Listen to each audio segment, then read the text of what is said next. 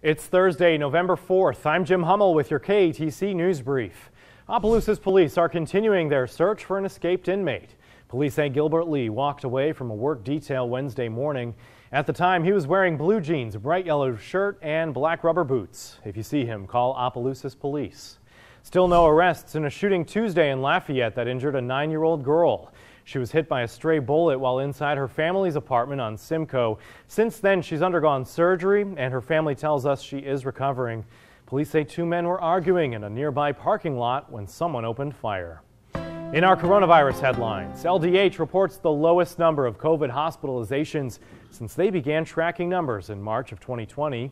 Right now, across the state, 235 people are in the hospital with COVID. 620 new cases were reported and 12 new deaths since Wednesday. 100 of those cases and two deaths were reported in Acadiana.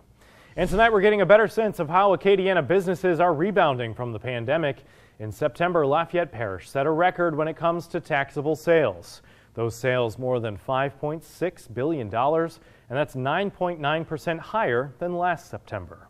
Let's get a check of the forecast now with Chief Meteorologist Rob Perillo. Hey, Rob. Hey, Jim. Yeah, nice and chilly out there. Still lingering cloud cover as we headed into Thursday evening, but those clouds will be clearing out overnight tonight, and sunshine returns tomorrow. Temperatures getting down into the low to mid 40s. Could see even some upper 30s across uh, northernmost portions of Acadiana up through Cenla, and then a mostly sunny and cool one as we head into our Friday afternoon. Some fair weather cumulus clouds showing up uh, that could roll in to the area from time to time, but we're going to keep it mostly sunny and nice and cool over the next several days with highs in the upper 60s and lows generally in the mid 40s. We could get near 70 Saturday. That looks a little iffy at this point. Lower 70 Sunday, and look at those overnight lows staying planted in the mid 40s. We see temperatures moderating just a bit toward the end of next week, but another front on the way in about seven days, which could set up for another good weekend for next weekend as well.